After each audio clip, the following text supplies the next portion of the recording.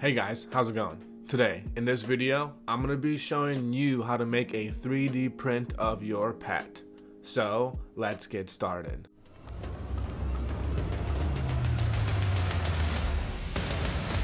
So this tutorial will be for any pet, whether it's a gecko, a cat, a dog, whatever it is, this will work for whatever kind of pet you have. So let's get started and dive into this tutorial. Alright guys, so first what we need is a picture of your pet. So if you have a picture that you want to use and turn into a 3D print, then upload it to your computer now, and if you don't, then go take one. But just so I can show you for example's sake, I'm going to be using a picture from the internet, and I found this good boy right here, and I'm going to be using this image, so I'm going to just save this image and show you guys an example with this picture right here. So again, this can be a cat, a dog, a lizard, whatever. And next, what we are going to do is go over to Maker World. And Maker World is an awesome website that has a ton of free STL files and 3MF files for you to download and print on your printer. But we're not interested in any of that. What we're going to do is go over to Maker Lab. And what this is, is a free AI modeling tools and they have a ton of different ones from print yourself to canvases to Christmas ornament makers to image to 3D models, which is actually the model we are going to be using today. So we're going to go ahead and click on that, or you'll find it in the top up here. If you go over, and it'll be this next gen image to 3D right here.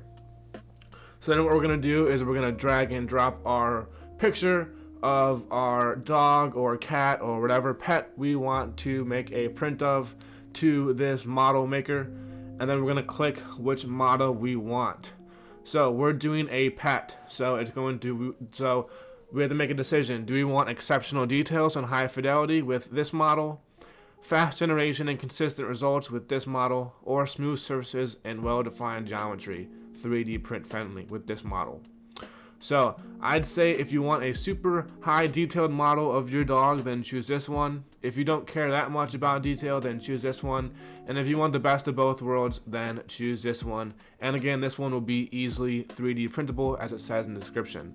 So we're gonna go ahead and click this one since it's the middle ground and hit generate.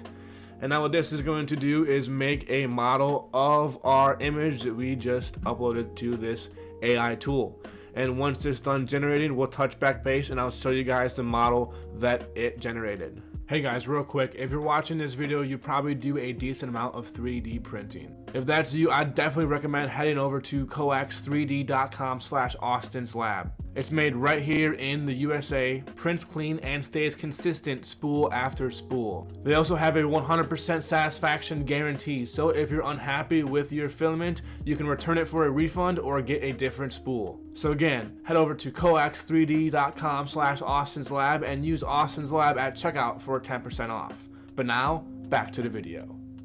Alright guys, this model just finished generating and here it is. This is the complete colored version. If you have a printer with 12 different colors, this is what you could get. This is the 3MF version, so if you only have four colors, this is what you could get. And then here is the normal STL, what it will look like. So I think it did a pretty good job in making a pretty good replica of, oh, not that picture of the picture that we gave it. So again, here is the picture that we gave it right here. And here is the model that it gave us of the dog. So whatever kind of picture you have of your dog, this will work. Or pet, you can upload it here to this image to 3D model generator and download it as an STL or multicolored print as a 3MF file.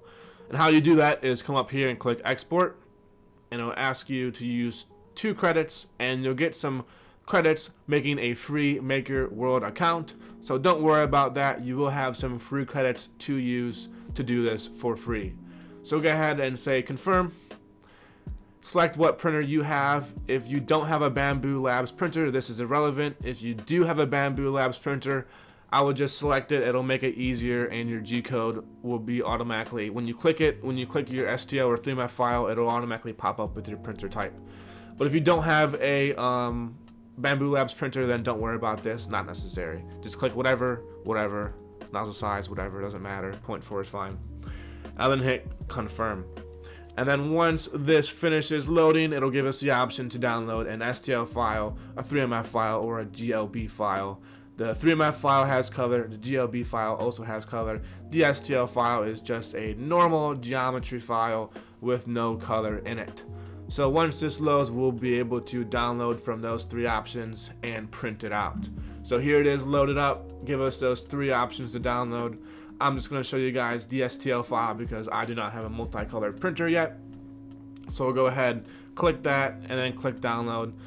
And then we'll wait a second, but then we'll see up here, it will download and we'll be able to open up that file and 3D print it. And here I'll show you guys into my slicer just to show you that it is a 3D printable file now ready to print on your printer.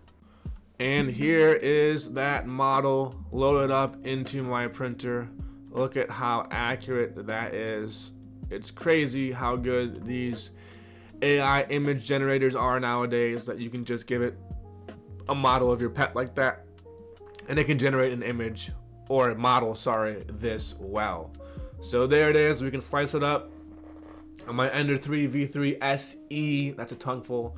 It'll take an hour and 20 minutes to make a pretty decent sized model of that dog and there's really not that many uh, need not not that much need for supports under the paws a little bit right there a little bit but pretty much it should be a ready to print 3d model basically out the gate it probably could print it right now without even putting supports there. That might just be a little funky until it finally catches and starts to print.